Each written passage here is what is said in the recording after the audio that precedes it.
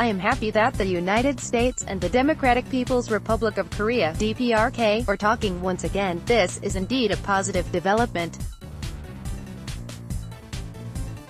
We should however, be realistic about achievement and outcome possibilities.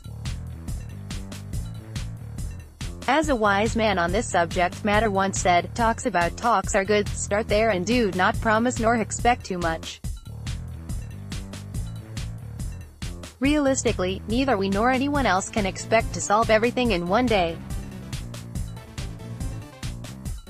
Locking the DPRK into a more fixed structure of dialogue for the long term, that is ultimately more positive.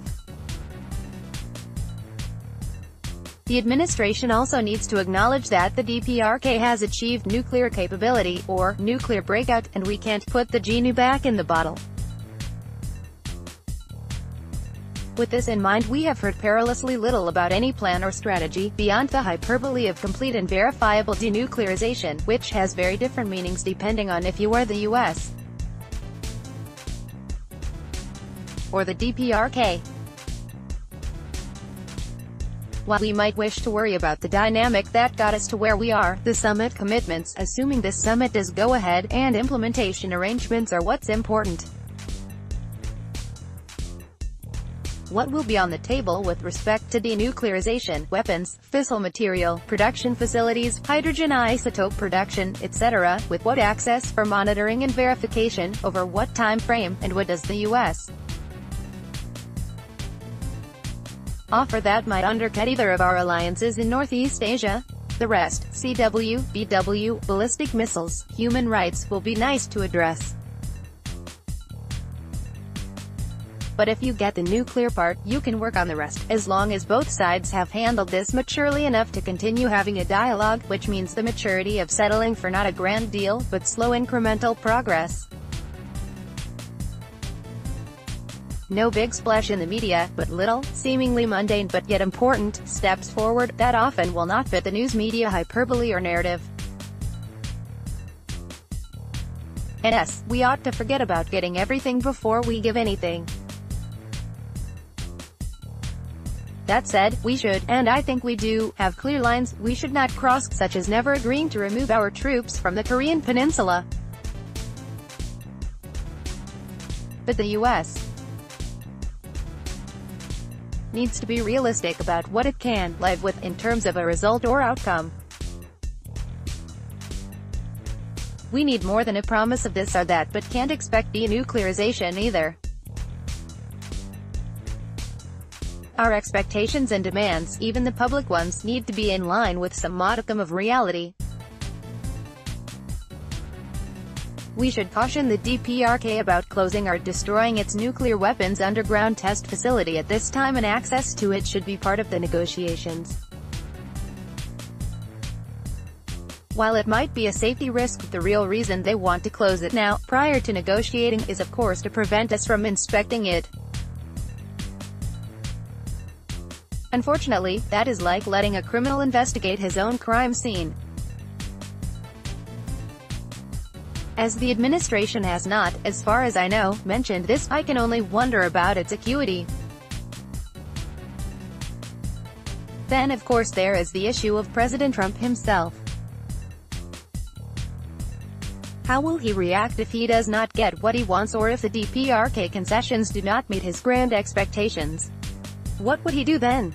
Walk away and accuse the DPRK of refusing to agree to his sensible demands? If things collapse who would be to blame? Frankly, the U.S. would have to shoulder some of that blame. We would have upset our allies and given credibility on the world stage to the Kim regime, without getting anything in return. We would have caused long-term harm to our regional relationships and to our image on the world stage as well as let the DPRK slip through yet again, while gaining some sympathy and relief from our sanctions and pressure from its regional neighbors. Such an outcome would be two steps back and an embarrassment for the United States. Then of course, there is our most important regional ally, Japan, a nation that we seem to do our best to neglect in terms of both our and their national security. Having worked in Japan for some 14 years I have seen this debate and concern on part of the Japanese before, but that makes it no less legitimate. The Japanese have an imperative interest in the region and are a key ally of ours, without whom any comprehensive deal touching on anything of significance in the region cannot be struck, or much less sustained. We cannot leave Japan behind on this, and if we do and fail, it is just as bad as if we do and succeed. If we fail Japan will point to their proposed more comprehensive approach as more realistic and point out that they have the institutional memory to see the situation for what it is.